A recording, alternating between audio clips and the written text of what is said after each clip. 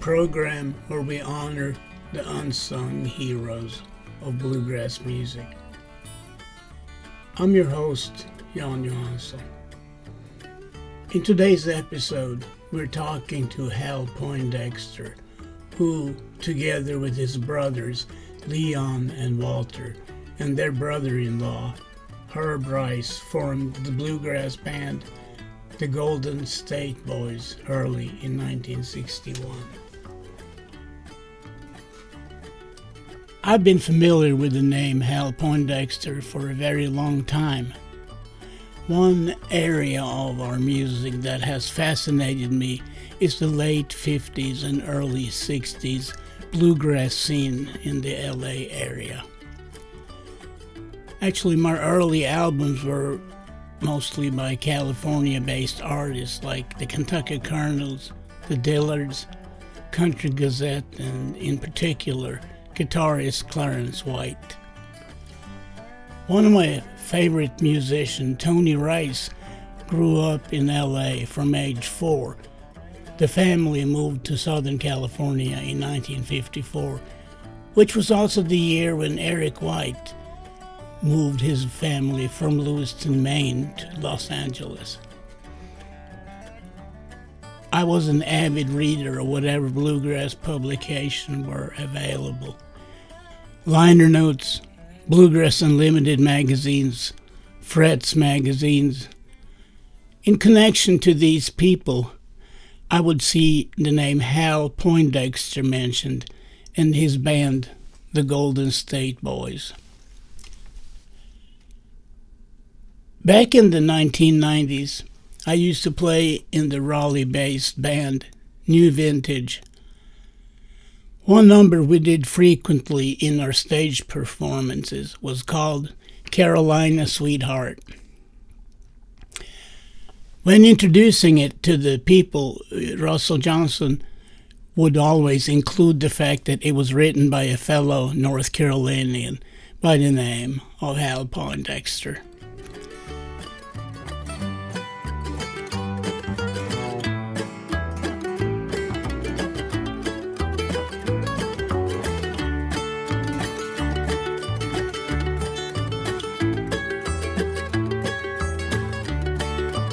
Around New Year's, I talked to my friend, Dobro legend Frank Poindexter, who is Hal's brother, and he informed me that Hal, now 86 years old, is in good shape and still has a very sharp mind.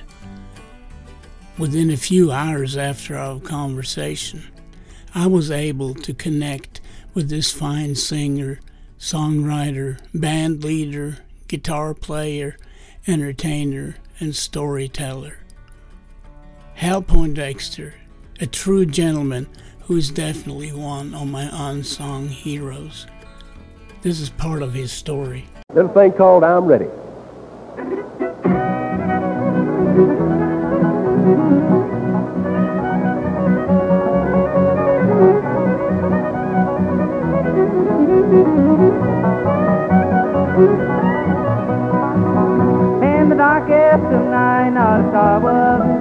Oh, On the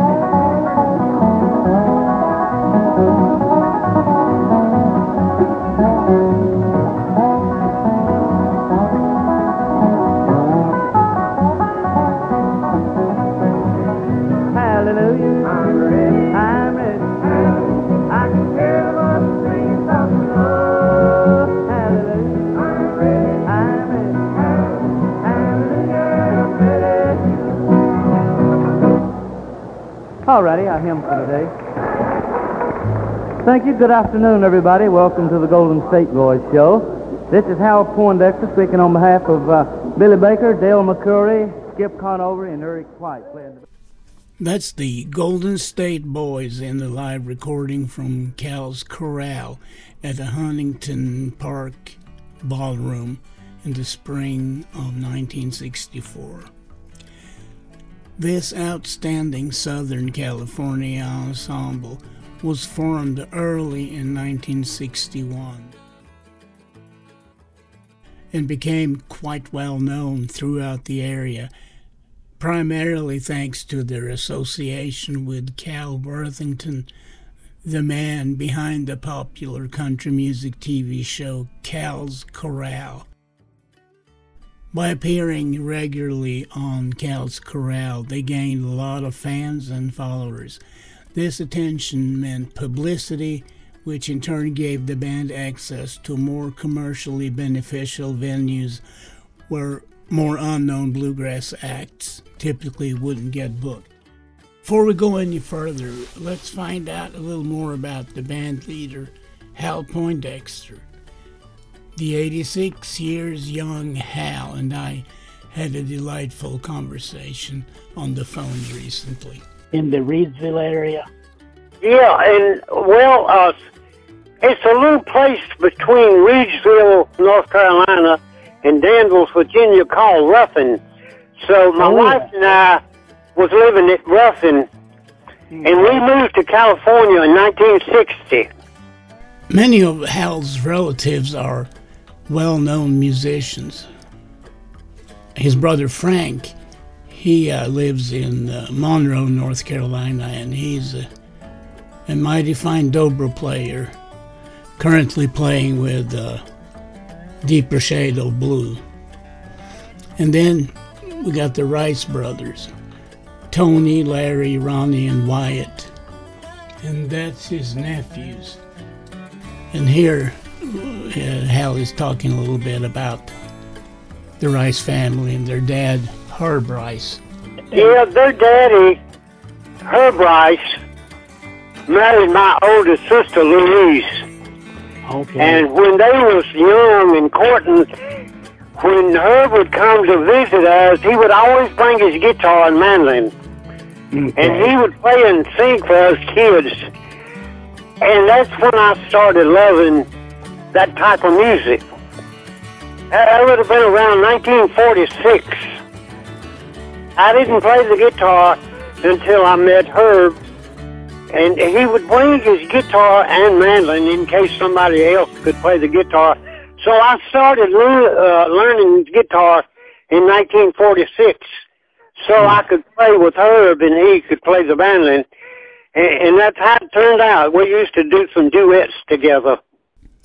After about eight years of marriage, Herb and Louise and their two sons, Larry and Tony, relocated across the continent to the West Coast. According to Hal, the reason his sisters, Betty and Louise, and their respective husbands, Wesley Barrow and Herb Rice, ended up in Los Angeles was the area's multitude of work opportunities. Rural North Carolina was not offering much as far as good paying jobs. Many families around the area earned a living from agriculture, tobacco, various crops, etc. Others were keeping their families fed by working in textile or cotton mills. On a personal note, my wife Teresa grew up on a tobacco farm in Moore County, North Carolina, and based on her accounts, I know how tough that kind of work was. The heat and humidity, the sticky tobacco plants, the spraying of toxic pesticides. It was normal to throw up after a day in the fields. Yeah, he he moves out there. He and the family moved out there in 1954 or 55. I, I believe it may have been 54. As far as his nephew's music, Hal was quite involved In this picture, he's sharing some mandolin insights with the very young Larry Rice. Uh, let's see.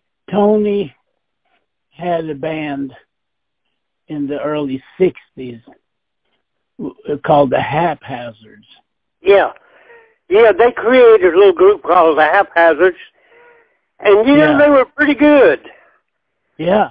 I And, and they played, played a few places around, and and to be young as they were, they were they were pretty good.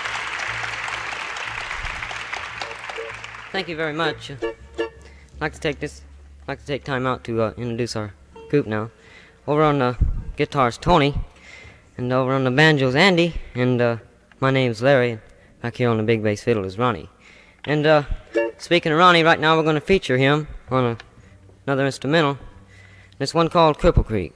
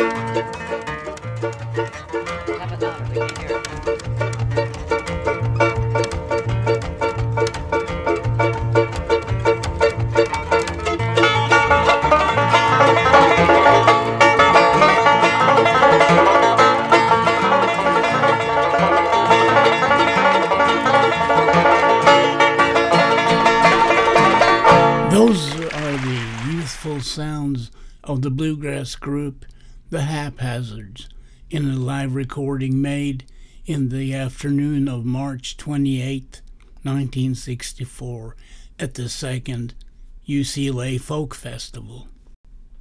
The Haphazards was a four piece band consisting of Hal's nephews, Larry, Tony, and Ronnie Rice and banjo player Andy Evans. The UCLA Folk Festival organization had created a youth section they called New Folks within the special concerts program that took place at Royce Hall, essentially a performance platform for the young and upcoming artists within the folk music genre. Another band featured that weekend was the Kentucky Colonels, formerly known as the Country Boys. Something a little different. This is another old fiddle tune. It's one called Listen to the Mockingbird.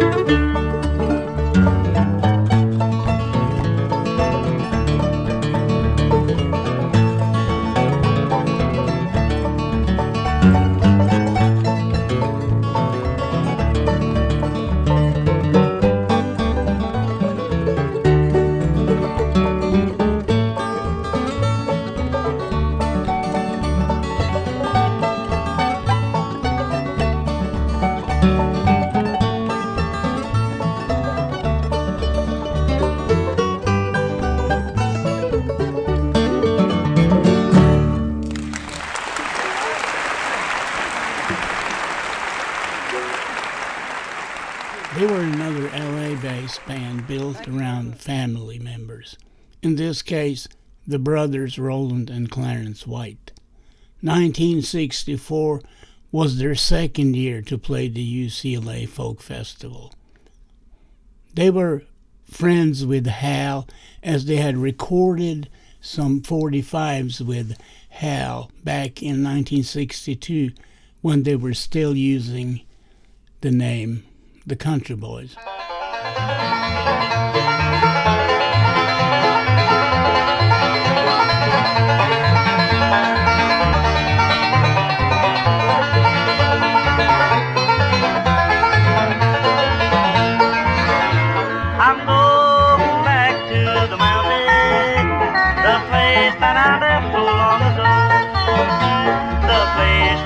Spent my happy childhood and met the sweetest girl I'll ever know. Carolina, sweetheart, oh I you so.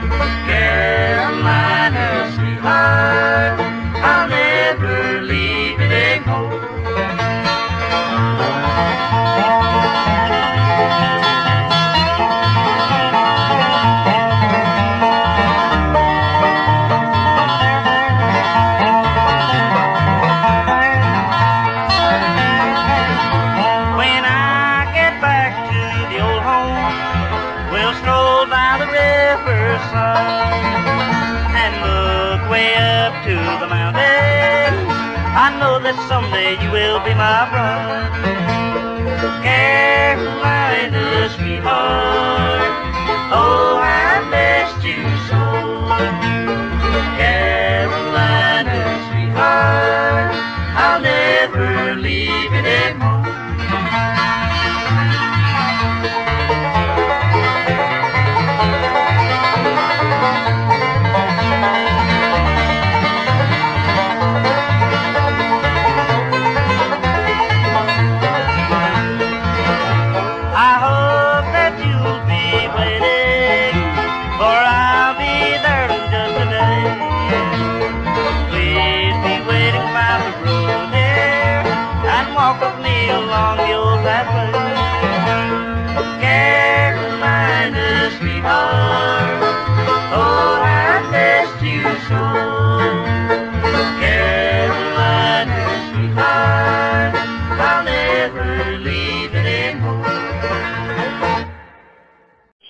that was uh, Carolina Sweetheart.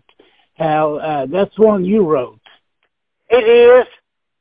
I wrote that, and uh, the uh, they they were called the Country Boys when they helped me record that, but they later on changed the name to the Kentucky Colonels.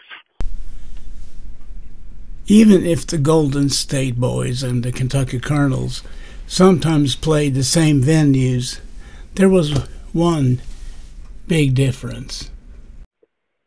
You know, we ended up playing more country and western clubs than the Colonels uh, because of our connection with the uh, KCOP TV channel where we would do Oh, yeah. two shows every week.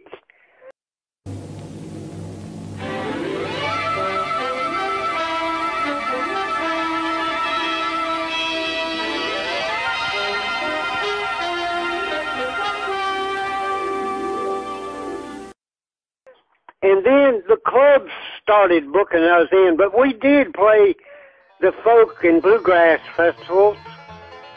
Yeah. Uh, but we we we sort of went in a different direction than the Colonels. They pretty much with the coffee houses and and uh, and places like that where they featured uh, folk and bluegrass. Uh-huh. But we went sort of in a in a bigger direction, you know, in bigger clubs. Yeah. Southern California was not exactly a mecca for bluegrass music back in the early 1960s. Hal illustrates just how rare bluegrass was by sharing the story about his nephew, Tony. Uh, anytime, and, and especially in the early 60s there in, in the LA area, it wasn't a like a hotbed. Bluegrass was unheard of. I remember one time, uh, Tony took his guitar to school, and he played for his class, and Oh. he didn't appreciate how it went over, and he come home and he, he told his mama, he said, bluegrass is the unknownest music I've ever heard of. He said, I never taken my guitar back to school. Oh, yeah. uh, Tony was real young, you know, about seven Yeah. years old, and uh, and they couldn't get into clubs where we played, you know. But Oh. we we would uh, do the same shows as the Colonels a lot of times. Yeah. So the, the Colonels was friend of ours. Clarence, uh, by the way, on that Carolina Sweetheart, the original recording, I played Clarence's guitar on that tune. So when you hear that, you hear in Tony's guitar. Yeah. Uh, but, And but who is the Clarence didn't play that lead till about, I'm going to say around 62. And I'll tell you what started him playing lead guitar is they booked Doc Watson at the Ash Grove and for a week. And, and Clarence would go there and watch Doc Watson play the guitar. Good evening, ladies and gentlemen, and welcome once again to the Ash Grove. We'd like to start off this evening with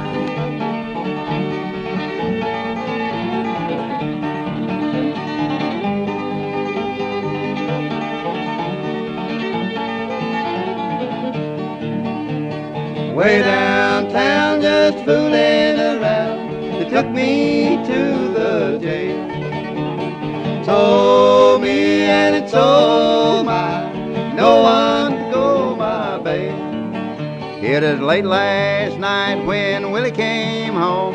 I heard him a rapping on the door. He's a slipping and a sliding with them new shoes on. Papa says, Willie, don't you rap then he started picking it up on his own. Yeah. and by by the end of '62, he was playing Clarence White guitar. Mm-hmm. He developed that style real Hmm. quick. But Well- at first, when we went out there, he only played lead guitar. I mean, played rhythm guitar. No, so this was recorded when Roland was in West Germany uh, during the, his military service. So, who Right. who who did you get to play the mandolin? Uh, on my record, uh, Clarence played rhythm on the mandolin. Oh, He didn't take any breaks, but he chopped rhythm on the mandolin. Okay. But, but when they mixed it, they didn't have him up loud enough to hear him on the record. Right. That's Yeah. that's too bad.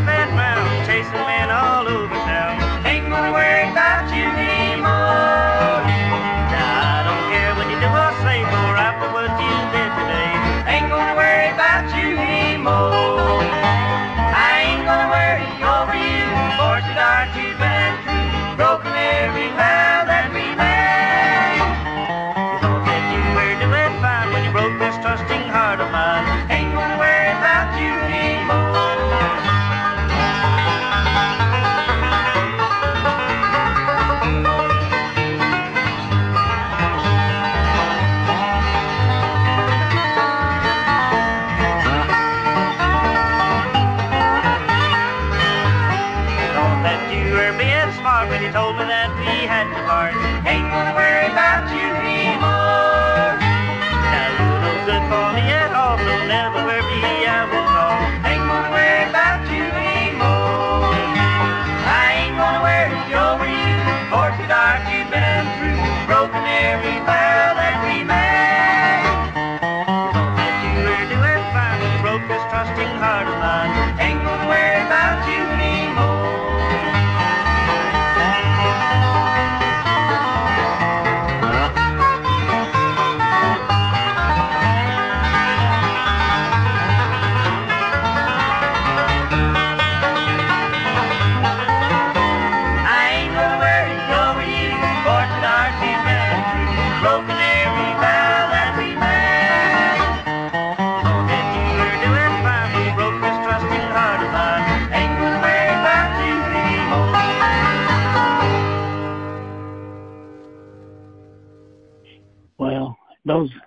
masters, I'm sure, are gone somewhere. Yeah, 'cause it's been, you know, going on 60 years almost. A lot of people have tried to find uh, master tapes of the TV shows that we used to do. Yeah. And, and they've looked everywhere in the vaults of the uh, archives of KCOP television, and, and they're, they're, none of them exist. They're all gone. Well, that's you know, and a lot of times, I guess they just taped over, you know, use the They same. did. 'cause, Uh, days the tape was real expensive, the kind that they used for TV, and Yeah. they used it over and over. Yeah. and didn't save it. And they've regretted that, like Cal Worthington and everybody involved in the show, because they would have had the opportunity to do reruns, you know, Yes. and Oh, made yeah. money off of them, but he didn't Yeah. keep them. Uh, so, uh, please, please tell me about the the show you were involved in. Well, we was we played uh, a show every Sunday, a live show Mhm. called Cal's Corral. And uh that was a 30 minute live show. And it went on, it started around 10 o'clock in the morning and ended around 2. Okay. So it was a long time and a lot of artists. We used to follow Buck Owens on our portion of the show. Buck Owens was on there for a good while. Yeah. Okay. Uh, yeah, well, he Bakersfield, but he Okay. spent a lot of time in L.A. Oh. And after, you know, as he began to get a lot of hits, he got famous real fast, and and he didn't do Cal's Corral anymore. He was mostly on the road doing Mhm. show dates and everything. Yeah. But all the country acts from Nashville from time to time would be on that show. Yeah. And then on Saturday, we would film a two-hour show at a at KCOP TV, channel 13. And we want to do it for going to work tomorrow. Oh, I'm gonna leave this country. I'm going around this world. I'm going to leave this country for the sake of a little girl.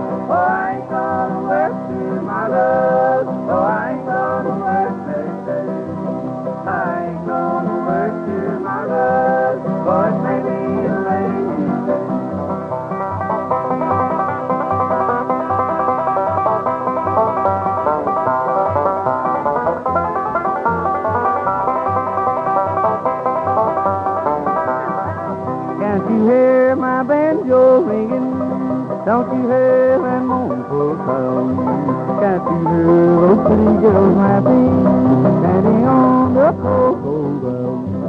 I ain't gonna to my love. Oh, I ain't gonna next day.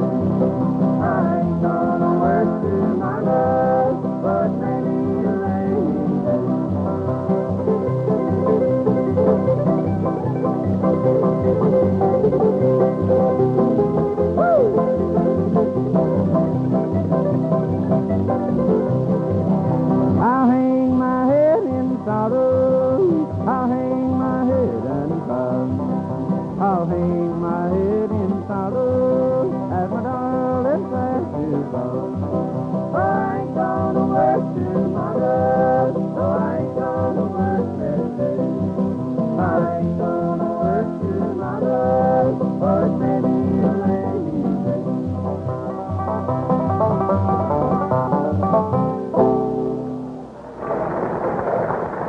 we had we had a, a big turnover in the band from the beginning when we started in 1960. In the beginning, it was me and two of my brothers and Herb Rice. That, that was the main part of the band right there. Well, the banjo player, uh, my brother, he he moved back east here, And and from that point on, we had different ones in and out of the band, and and it was hard to keep a band together. Oh yeah, yeah. You know, uh, cause cause back then, you know, it, if you didn't make a lot of money, it was hard to keep a band going. Oh yeah. And we didn't make a lot of money in the beginning. Um, Right. it, it was it was tough. Yeah. But we enjoyed playing, and, and you know, we was breaking new ground. We was getting bluegrass in places where it had never been heard, Mhm. like like Knott's Berry Farm, and we played Disneyland, and and we was we was making progress in in getting bluegrass heard.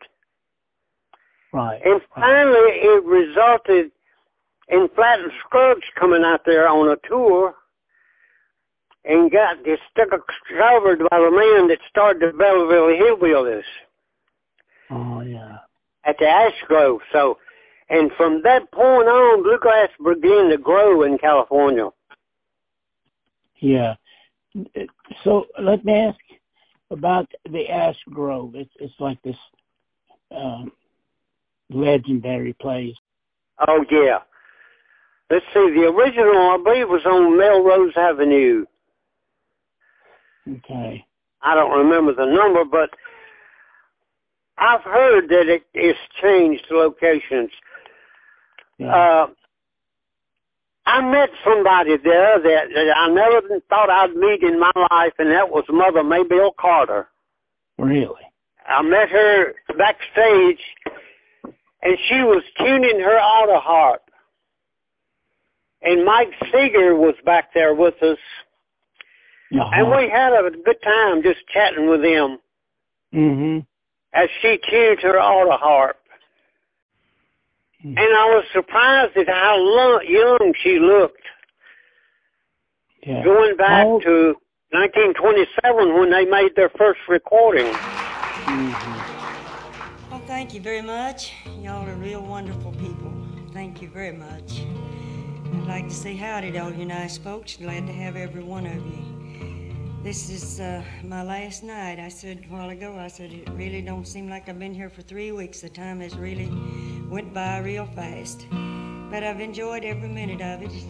So I'd like to do another one of the old tunes here. This is one we recorded quite a few years ago called Diamonds in the Rough.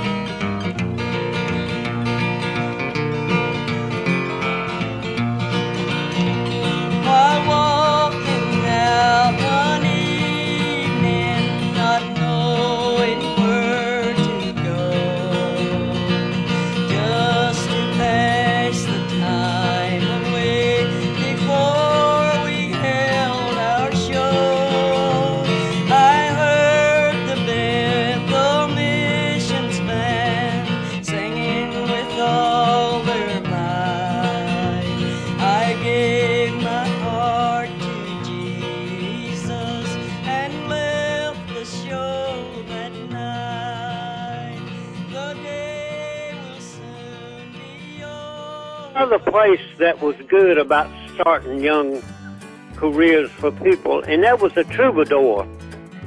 Okay. The Troubadour, we played there uh, several times.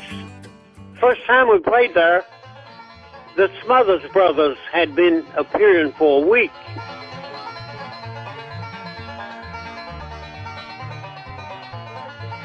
One of them, Tom, just died yesterday, I believe.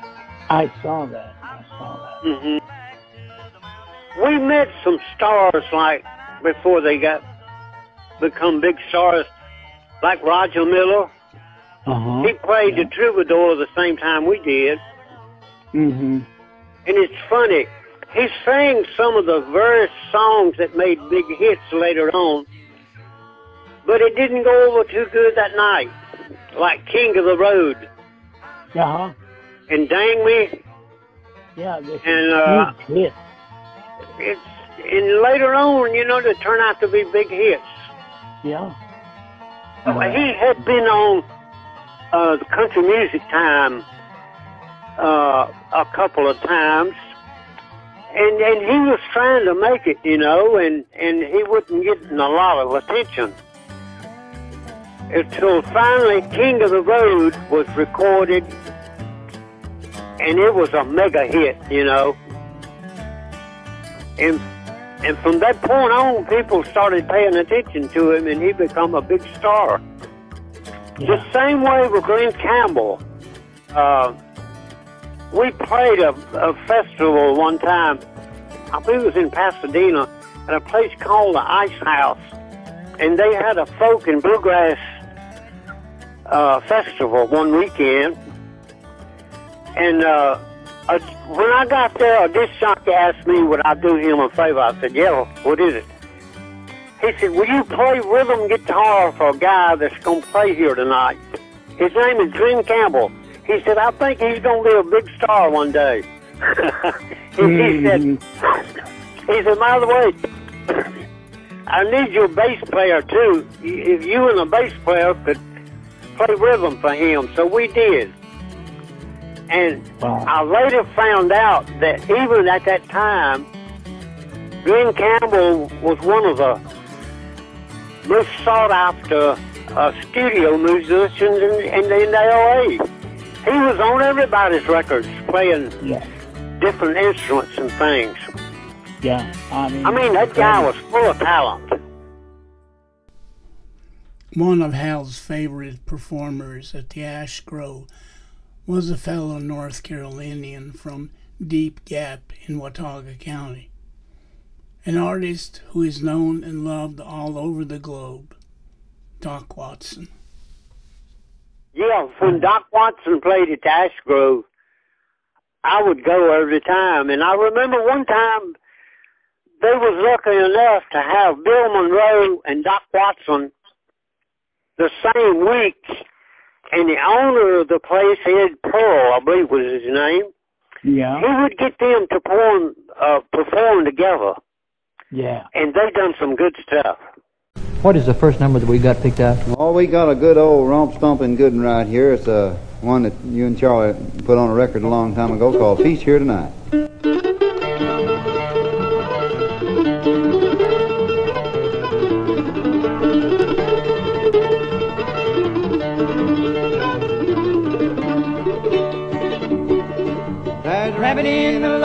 And I ain't got no dough. How will I get him? I know how. I'll get me a briar and a twist in his hair. That's the way I'll get him. I know. I know. Yes, I know. I know. I surely know. That's the way I'll get him. I know. I'll get me a briar and a twist in his hair. That's the way I'll get him. I know. Look out now.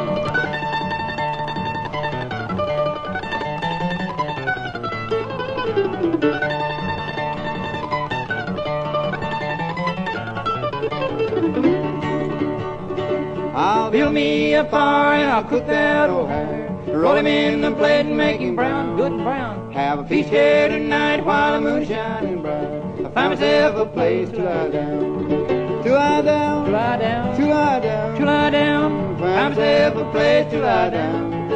Have a feast here tonight while the moon is shining bright. Find myself a place to lie down.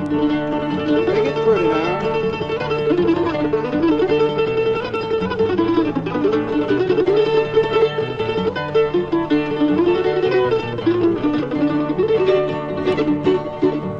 I'm going down the track and I coated up my bag. Soles on my shoes nearly gone. Just a little ways ahead, there's a farmer's shed. That's where I'll rest my weary bone. My weary bone, weary bone, my weary bone. You lazy bone, that's where I'll rest my weary bone. Just a little ways ahead, there's a farmer's shed. That's where I'll rest my weary bone.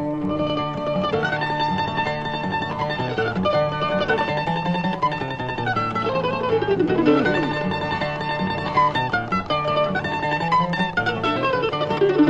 weary bone, weary bone, my weary bone, you bone. That's where I'll rest weary. Just a little ways ahead, the farmer's shed. That's where I'll rest weary.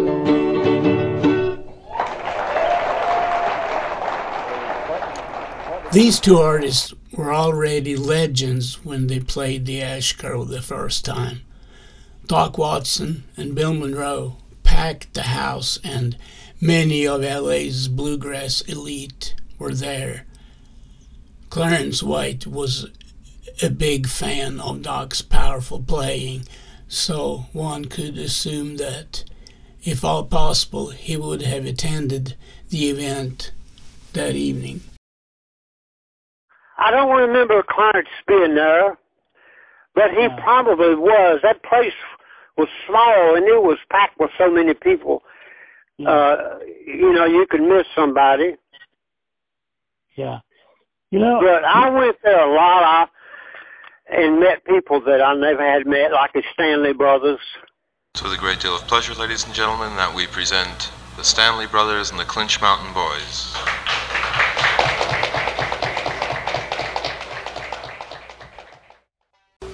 You know, the Monroe sound, since we're on that subject, I'd like to mention a couple things here. Uh, I know a lot of you have never heard where the Monroe sound really come from, and you've never been there. Well, I have. Uh, Monroe brothers were born and raised in a little cabin down in Rosine, Kentucky, near Beaver Dam. I've been there and spent some time there.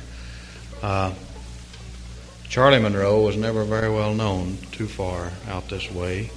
Uh, they separated. Bill and Charlie split up before, you know, they really broke out all over the country. And Charlie Monroe himself is a wonderful singer. I don't know how many of you have heard him, but he's one of the best. Uh, not only is Bill a good singer, but his brother Charlie is one of the unsung heroes, or something like that, in my opinion, what I would call it. Anyhow, what I'm trying to say is I'd like to do a number, Ralph, if you remember this one, that Charlie and Bill done years ago, back on Bluebird Records, back in the early 30s. They started singing up in Hammond, Indiana, and then moved down into the Carolinas, where they made a terrific hit. And the houses wouldn't hold the people that them boys had. This is called Drifting Too Far from the Shore, and uh, if you want to call this a copy, I hope it is a copy. I hope we can do it as well as they did back then. Uh, I don't know of any other way to do this song. Did any of you ever hear that record, Drifting Too Far from the Shore? You have? Let's try to do it. Out on the perilous day,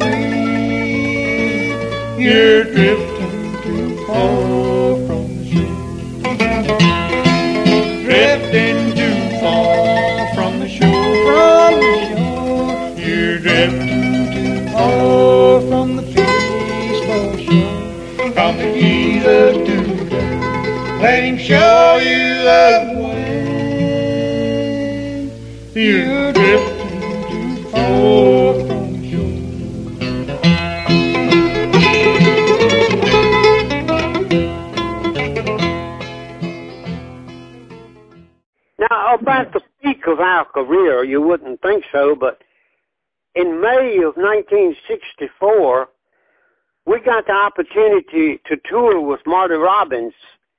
okay. And we opened the show uh, in the Midwest. We done about nine dates. And Marty Robbins was, was a big star back in those days. Sure. Sure. I mean, they didn't get no bigger than Marty Robbins. So that was a pleasure working with him. He had been living in California and he watched some of the TV shows. He was not on many of them because they couldn't afford him. Okay. Uh, but anyway, he was familiar with our band. And the, the man that done the booking for us was friends with Marty Robbins' booking agent. So they got together and asked Marty Robbins would he uh, mind if if we opened the show for him on on a tour in the Midwest, and he said that would be fine. He would enjoy that. So that's Yeah. how that turned out. Wow, that's a big gig. Yeah, yeah. I'm not aware of any audio from the tour the uh, Golden State Boys did with Marty Robbins in May of 1964. However, there are some surviving live recordings from around the same time of the band that spring. The following segment is from KCOP TV's weekly country music special, Cal's Corral. The program was aired from the Huntington Park Ballroom located on the second floor of the Bank of America building at 6130 Pacific Boulevard in Huntington Park, California. Here's Hal and the Golden State Boys doing their rendition of Pain in My Heart, written by Larry Richardson and Bobby Osborne. Thank you very much. Welcome to the Bluegrass uh, portion of Cal's Corral. Well, the Golden State Boys will be around 30 minutes uh, entertaining you bluegrass style. And uh, we'll get things right underway here with a song today for uh, Mr. and Mrs. Cal Worthington. This is... Uh,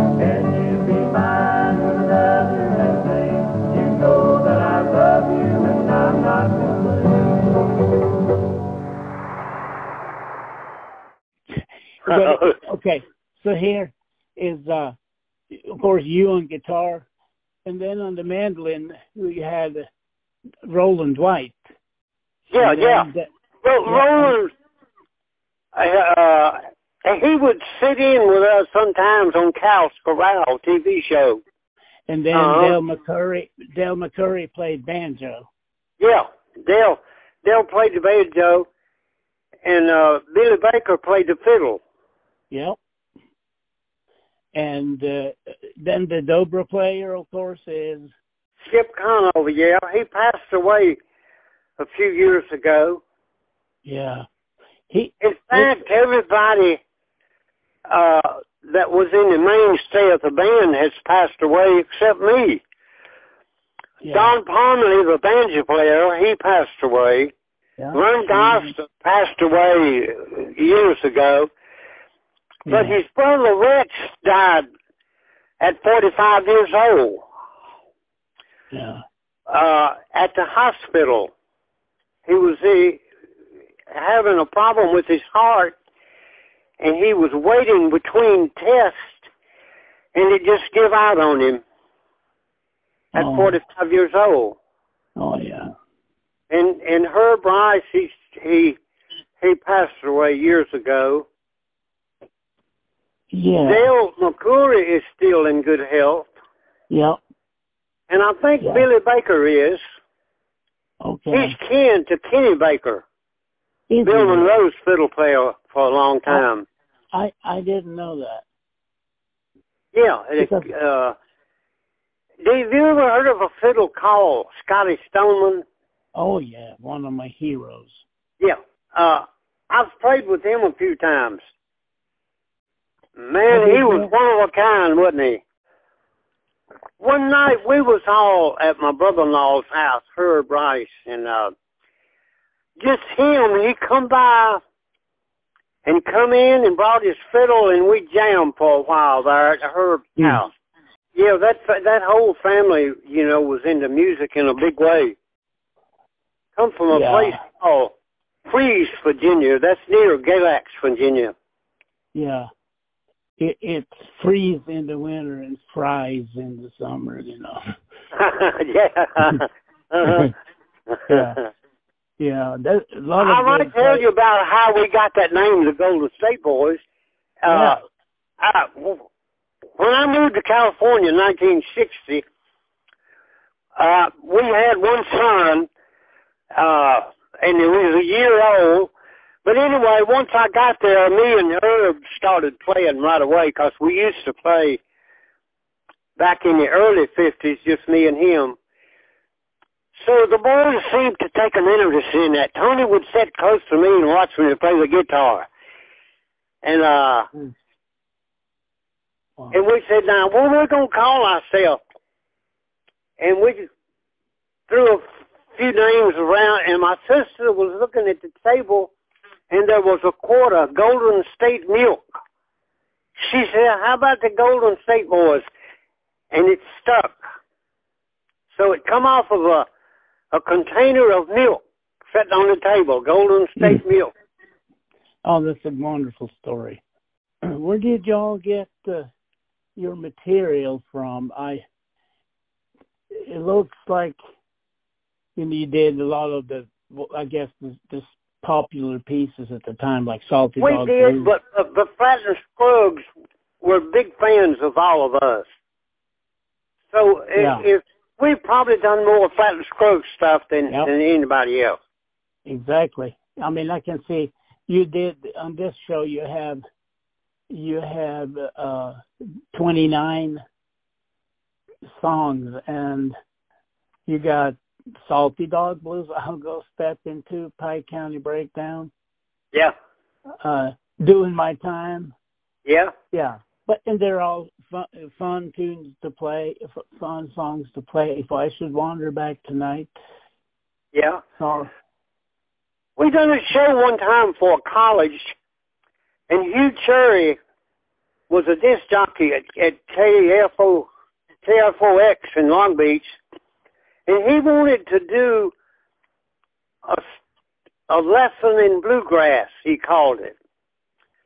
So we played the college, uh, Cerritos College, I believe it was, and and he he was like a historian on that type of music Mm-hmm. he would go into depth about explaining how the song come about and who wrote it. I believe it was El Camino College now, that I'll think about it for a minute.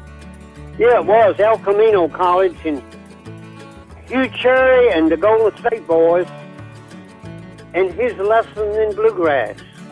He had a late night uh, show, so he's at first, he was on the DJs that would play bluegrass.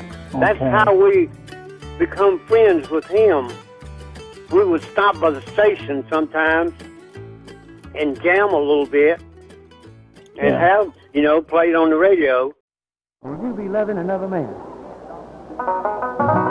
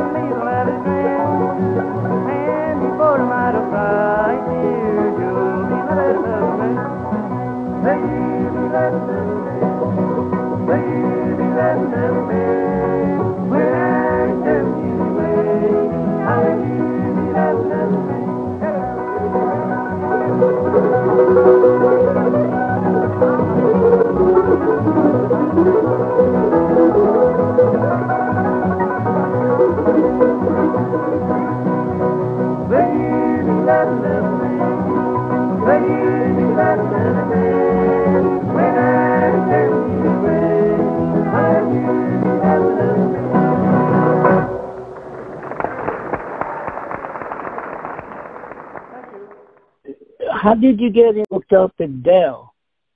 Uh, Bill Monroe made a tour to California around 60, first part of 1960, I guess. I mean, 1964. And Del McCoury was playing guitar and singing lead for Bill. Yep. Well, I found out he played the banjo too. Uh-huh. So we told him if he ever decided to come back to California, we'd like to have him to join our band. So after they got back to back east, in a Yeah. few weeks he called and wanted to know if we could uh, have an opening in the band for him playing banjo. yeah. And we told him, yeah, and he said, there's a fiddle player that wants to come with me. Could you work him in? And we said, yes. We was playing uh, Cal's Corral and, and getting what bookings we could get. But you know, it was hard for a six-piece band or even a five-piece band to survive on. So it just wasn't enough money in it for them to stay at it. So Yeah. by mid 1964, they moved back east, Yeah. Okay. and I think Del took a job uh, in the logging business for a while. Mm, okay. Yeah, and it's a struggle to make enough money for a six-piece band. Oh man, tell me about it.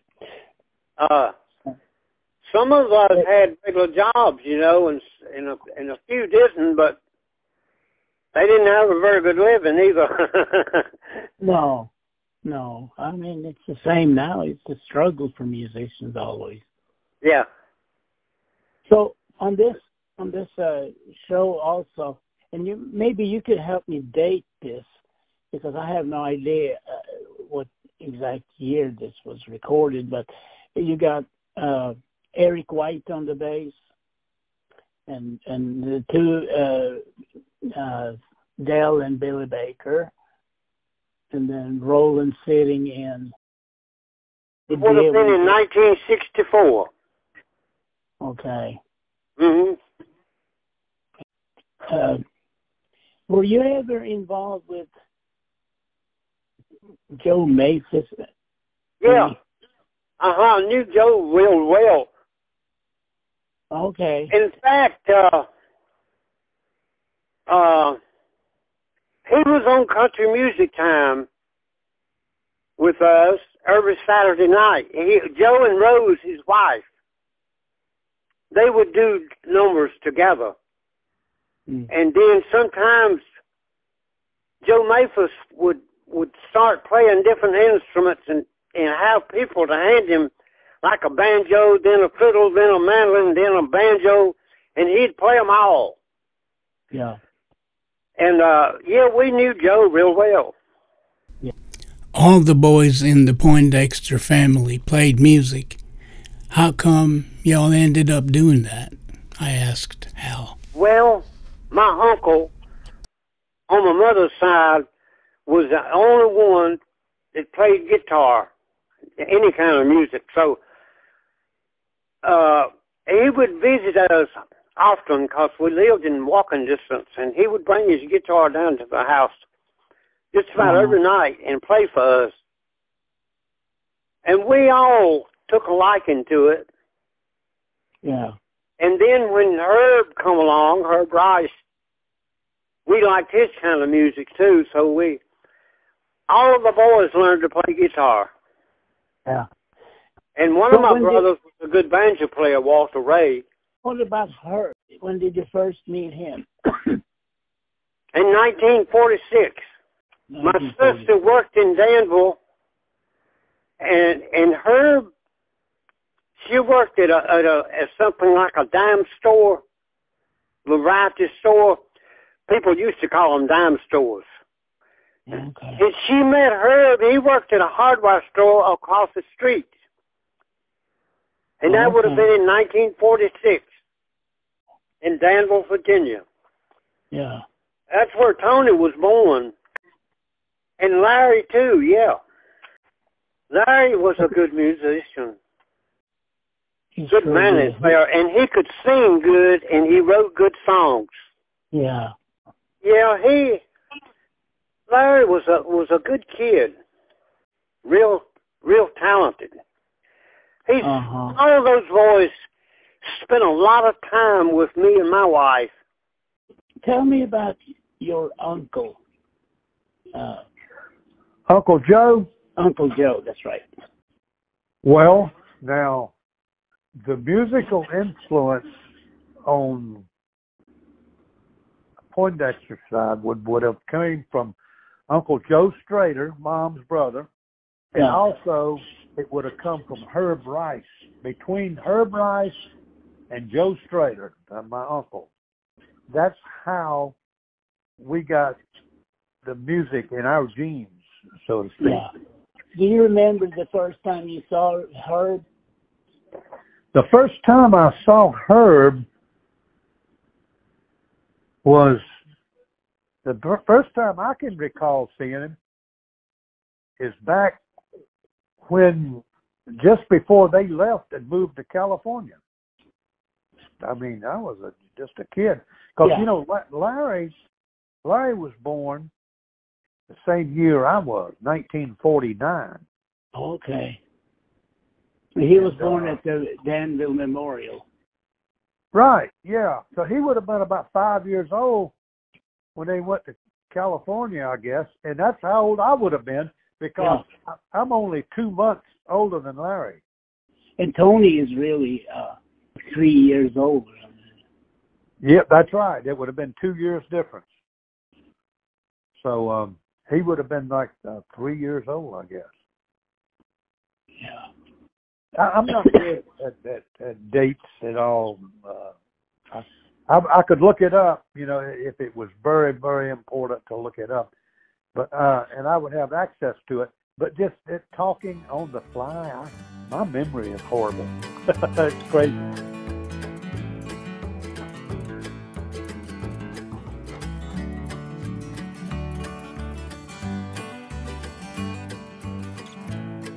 Herb was a good tenor singer. Mm-hmm. He was a good tenor singer. He had a voice like some people with a lot of range. You know, he could either sing bass or sing tenor. You've seen people like that. Yeah, sure,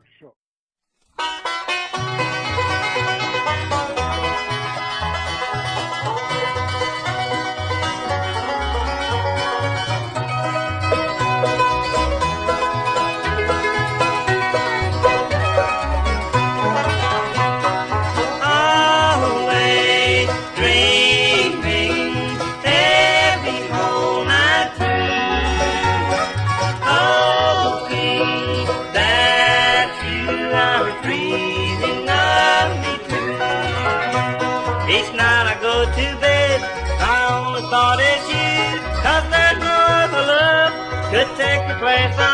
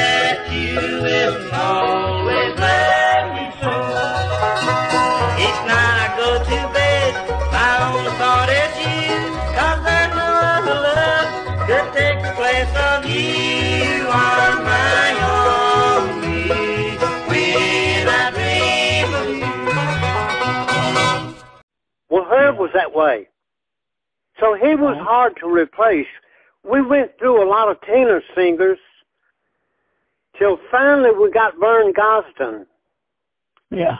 And Vern sung tenor until we could get Rex, his brother, out there. And then we went, well, once we got Rex, me and Vern would alternate on lead and, and baritone. Somehow our band seemed to inspire a lot of young pickers to go ahead and and and make it big once they've been in our band, like like Del McCoury, Vern Gosdin, Rex Gosdin, Don Parmley, Skip Conover. Skip plays What? with a fiddle player, Bur- by, by Byron Berline Oh yeah. for a long time. Well, you Skip know, played yeah, with my- him, and uh, but a lot of people that was in our band went on, uh, like Don Parmley, and made a career out of it. You know, him and and David, and a guy named Randy Graham. he he lives in right in in in this area, and he's a good friend. Uh, Mhm. Randy is. He's a Yeah. fine singer and musician. Yeah, I knew him before he could play a lick. okay. He, he just he just decided he wanted to learn to play, and it and it didn't take him long. Never had sung no bluegrass, and all of a sudden he was as good as anybody you'd want. Well, he he's one of the best tenor singers ever. Yeah, I know he was. You know, the Cardinals did. Uh, there is a fountain back in the probably in 1990, I mean 77 or something like that on, on Mhm. that first album, just killing it, and and that's really before, at least uh, before Doyle Lawson recorded the uh, a cappella gospel. Doyle Lawson claims that he's the first one that ever done it, but also Don Parmley, he said he was the first one to ever do it. so you don't know who to believe on that. Our fiddle player was a left-hand fiddle player. His name was Bobby Sloan. Yeah, Oh yeah. He wasn't what you call, you know, a great fiddle player, but nevertheless, because he played left hand, he could sell it better than anybody I've ever seen. Yeah. I mean, people love to hear him play. Yeah. And he's a fine bass player. Yeah, he finished out his playing career with J.D. Crowe. Oh yeah, he he played with JD for a long time, and and you know JD he was a stickler for Yeah. rhythm, and you know he. Well, he you know, wouldn't I, put up- uh, Bobby called me. He had been with JD for a while. I'd say six months or a year. And he called me one time and he said, Hal, we need a tenor singer. And he said, somebody that can sing tenor and play the mandolin. He said, you know anybody like that? I said, I do. And he's not doing anything now either. He said, who? I said, Larry Rice. Ah, They give him a call, and Larry was down there in two days. And and he started with them, and you know they made one of the best albums I've ever heard, a gospel album on a Lemco label. It was Doyle, J.D., and Larry doing the singing. hmm Is it a mo- is it model church? Yeah, that's it. That's it. And and it's some mighty fine singing on that album. I mean, Doyle is one more talented guy. As far as singing goes, Tony Rice turned out to be one of the best singers in bluegrass. Oh yeah, oh yeah. He can sing Sweet Sunny South, and it makes cold chills on my arms. Amen. You know, I, I remember uh, New Year's Eve, eleven years ago. I I was listening to that song and and it, it, I was in tears because it it just touched my soul. Yeah. I mean, Tony, he's he just, and you know, he didn't sing a lick at first. He wouldn't sing for nothing, and all of a sudden he come out singing, and man, he was good. Thank you. We'd like to, I'm going to slip this in on Tony while he's uh, getting a little drink of water there. I'd like to acknowledge a VIP out there in the crowd uh, visiting with us today. And I uh, stress a very important person because she's the mother of the dynamic duo here, Tony and Wyatt, Mrs. Louise Rice. I know you're there.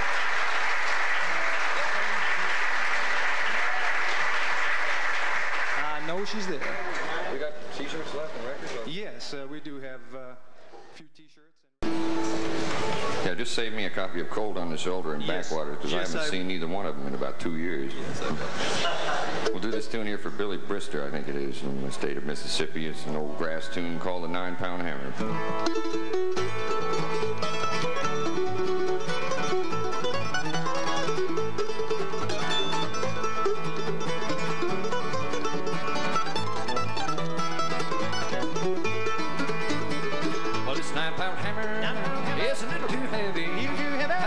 Side. For my side. Honey for my side. Come on, buddy. Don't you roll so slow. How can I roll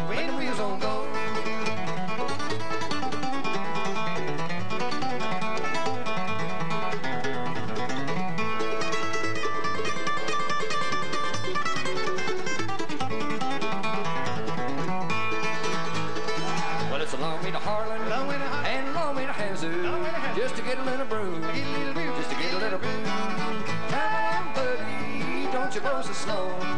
How can I roll when the wheels don't go?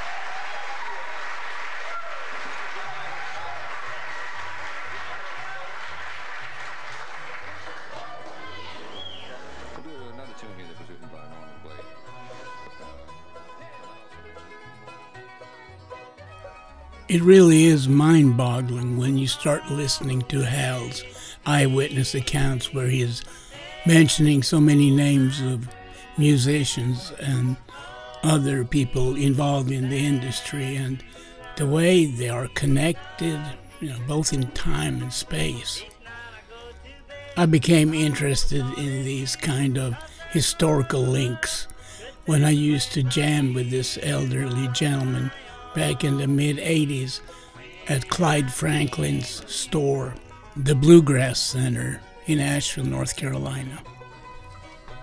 When this gentleman was a kid, he had befriended the singing brakeman, Jimmie Rodgers, who was playing at the Battery Park Hotel in that fair city. Now that's pretty incredible. I used to know somebody who had been a personal friend of the first artist to ever record what's known as country music, Jimmie Rodgers. In the case of Hal, well, he knew all those influential musicians when they were still in their in the formative years of their youth. Players who, by now over 60 years later, are true legends. Hal is a link to an era, the early 60s, and the spread of bluegrass in Southern California. He's one of the most important and impactful bluegrass artists in that region. The Golden State Boys was similar to Monroe, Jimmy Martin, J.D. Crowe, or Doyle Lawson in that it was much like a high level bluegrass school where many well known profiles got their basic training. I'm very thankful to Hal and Frank Poindexter for making this video possible.